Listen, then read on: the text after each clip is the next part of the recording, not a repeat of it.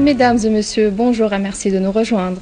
Le ministre russe des Affaires étrangères, Sergei Lavrov, a critiqué les pratiques des États-Unis au Moyen-Orient, assurant qu'elles montrent que Washington ne dispose d'aucune stratégie bien examinée dans cette région.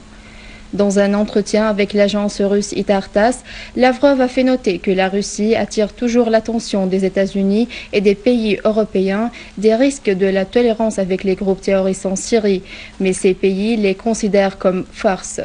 Il a ajouté que toutes les tentatives de la Russie de mener des discussions claires au début de la crise en Syrie ont été mises en échec en dépit de ses suggestions de ne pas soumettre les pratiques sur la scène internationale au propre intérêt intérieur. La police espagnole a arrêté deux adolescentes qui se préparent à voyager au Maroc pour y rencontrer un réseau affilié à Al-Qaïda et qui enrôle des personnes pour les adhérer aux gangs terroristes extrémistes en Syrie et en Irak. Le journal espagnol El Pays a fait savoir que ces deux filles, âgées de 14 et de 18 ans, étaient résolues à adhérer au réseau terroriste de l'État islamique en Irak et au Levant.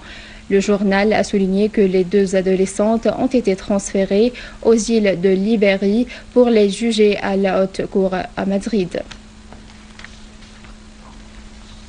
La centrale de transformation de l'énergie électrique de Jeramana a été remise en service après l'attaque dont elle avait fait l'objet il y a quelques jours. Les chantiers de restauration avaient réparé la ligne à haute tension reliant la zone centrale à celle du, au sud. Dans ce même contexte, des terroristes armés ont enlevé hier 14 employés au ministère de l'électricité au moment où ils réparaient la ligne à haute tension Zerbe Zenoun qui fournit de l'électricité aux deux gouvernements d'Alep et d'Idleb.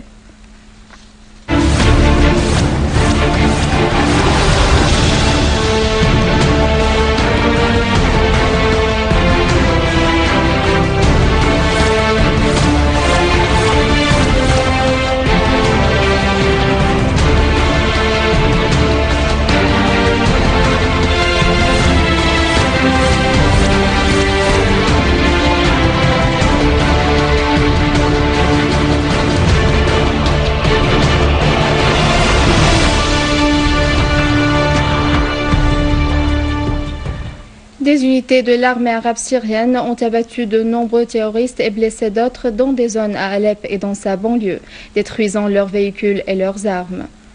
Une source militaire a fait noter que des unités de l'armée arabe syrienne avaient tué et blessé plusieurs terroristes et détruit leur cache à Qadi Askar, la périphérie de l'hôpital ophtalmologique Bab Hadid, Beni Zaid, Daret Azza, Salah Din, Brej, Babis et à Shirfat Safra, à Alep et dans sa banlieue. La source a souligné qu'une unité de l'armée arabe syrienne avait détruit sept véhicules avec les terroristes à bord à Rachidine. Une unité de l'armée arabe syrienne a détruit une cache des terroristes à la périphérie du village de Mentaf, dans la banlieue d'Idleb, tuant plusieurs terroristes et blessant d'autres, dont la majorité appartiennent à des nationalités étrangères. D'autres unités de l'armée ont neutralisé de nombreux terroristes à la périphérie de la localité de Khaminas, dans la banlieue d'Idleb, désamorçant 5 mines et 8 charges explosives qui pesaient entre 20 et 30 kg dans une ferme à la dans la localité. À Daraa, des unités de l'armée arabe syrienne ont neutralisé plusieurs terroristes et blessé d'autres détruisant leurs véhicules dans la ferme de Abu Othman à l'ouest de la localité de Semlin, dans le village de Lajat, à la périphérie de Tel Khadr et dans la, ville de Busra Sham, dans la banlieue de Dera. Un convoi chargé d'aide humanitaire est arrivé dans le gouvernorat de Dera acheminé avec l'appui du gouvernement syrien et en collaboration de l'organisation du Croissant Rouge syrien, ces aides humanitaires devaient être distribuées sur 16 villages du gouvernorat. Ce convoi d'aide est le deuxième. Il est composé de 16 camions chargés de 8000 paniers alimentaires, en plus de 8000 autres paniers sanitaires. Ils seront distribués sur les familles déplacées dans la campagne ouest du gouvernorat. Une coordination a eu lieu avec les municipalités et les notables de ces villages pour mener à bien cette mission. Au Liban, les combats font rage pour le quatrième jour consécutif entre l'armée libanaise et les terroristes dans le village de Arsal. Des accrochages farouches avaient éclaté la nuit dernière dans les régions désertes à l'est de Arsal et dans la région El-Mehania dans l'objectif de resserrer les taux sur les terroristes. Et à Tripoli, au nord, huit soldats libanais ont été blessés dans des accrochages avec des terroristes qui avaient ouvert le feu sur un bus transportant des soldats près du rond-point Abu Ali. Des postes militaires de l'armée libanaise dans plusieurs régions à Tripoli avaient été visés par des roquettes lancées par les terroristes. L'armée avait interdit aux terroristes de dresser des barricades et de couper les routes dans les rues de Tripoli sous prétexte de solidarité avec Arsal. Les terroristes ont riposté en tirant sur des unités de l'armée libanaise. Le ministère russe des Affaires étrangères a indiqué que la Syrie, l'Irak et le Liban font l'objet d'un danger commun, à savoir la propagation du terrorisme international qui œuvre pour contrôler davantage de terres.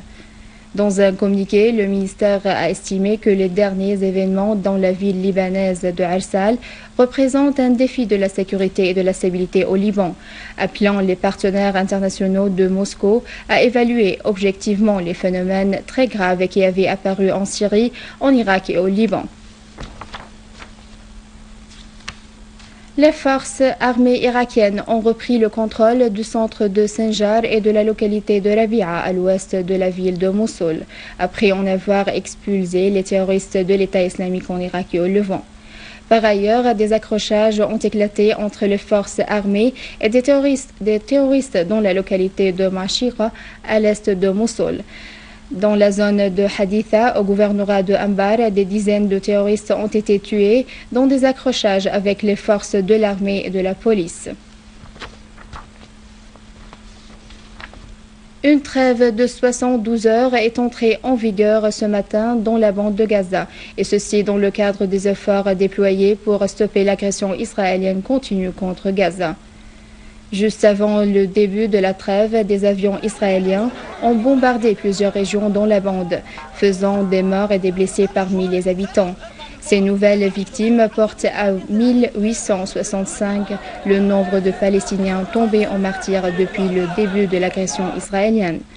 Dans un autre contexte, la secrétaire d'État aux Affaires étrangères britannique, Saïda Warsi, a démissionné de son poste en signe de protestation sur la position de Londres vis-à-vis de l'agression israélienne contre Gaza. Et à la fin de ce journal, je vous rappelle les principaux titres. La Russie affirme la Syrie, l'Irak et le Liban font face à un danger commun, à savoir les sanctions du terrorisme international.